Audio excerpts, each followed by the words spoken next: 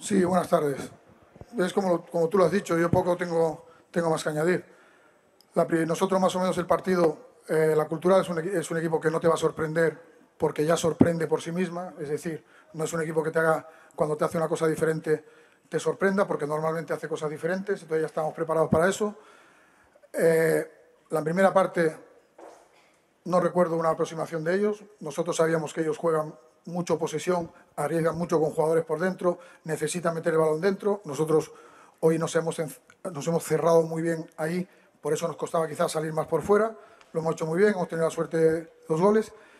Y la segunda, sí que es verdad que nos han empatado y que si dura más, no sé lo que hubiera pasado, pero hasta el primer gol no ha pasado nada, nada, absolutamente nada. Nosotros estábamos defendiendo igual, alguna vez Carpio salió ah, y no pasaba nada.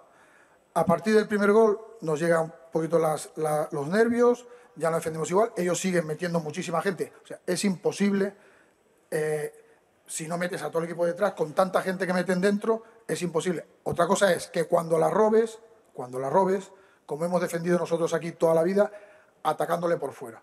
Pero nosotros hoy robábamos y no podíamos salir no podíamos salir, o sea, no había, no podíamos sprintar y volvían y volvían.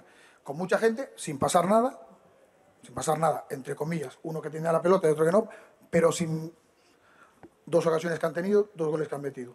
La posesión ha sido de en la segunda parte, nosotros no- tampoco somos un equipo de posesión, ni la necesitamos para, para, para, para jugar a fútbol, pero lo que sí necesitamos es velocidad y contraataque. Y si no tenemos, no solo no atacamos bien, sino que defendemos mal. Y es lo que ha pasado en la segunda parte.